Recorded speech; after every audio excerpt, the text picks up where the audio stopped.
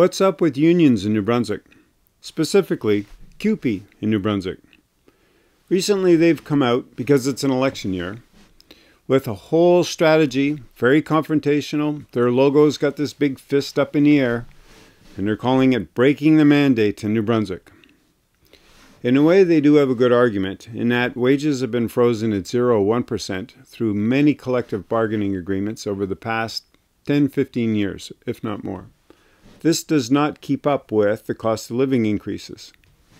So, buried in their bluster, there might be a valid point, but it gets lost because they want to be confrontational in, in their approach. Typically, it creates blowback. And here's an editorial from the Daily Gleaner on March 19th, 2018. And it says, Hold the line on public sector wages. Public sector union conference underway this week in Fredericton titled Breaking the Mandate, but it would be more appropriate to call it Breaking the Bank. And away we go one more time with the conflict narrative during an election year. The editorial goes on to say, yes, yet it's fair to question whether public sector unions should be allowed to exist at all. Really? Don't you know that freedom to association is in our Charter of Rights and Freedoms? Any simple search will find that for you. And here we have the editor of a newspaper in pushback towards a union who's taking a confrontational approach, saying, well, maybe unions shouldn't exist at all and citing an American president as the authority and source.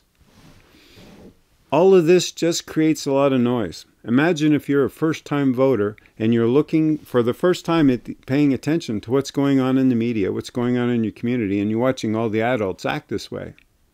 Why would you ever want to vote? One day, the narrative has to change.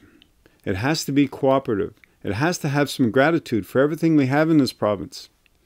And for CUPE, did you know that the number one driver for work is not money? Dan Pink has a great TED Talk if you look it up on YouTube, and it's about what motivates people.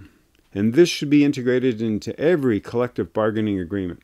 Three key things autonomy, mastery, and purpose or contribution.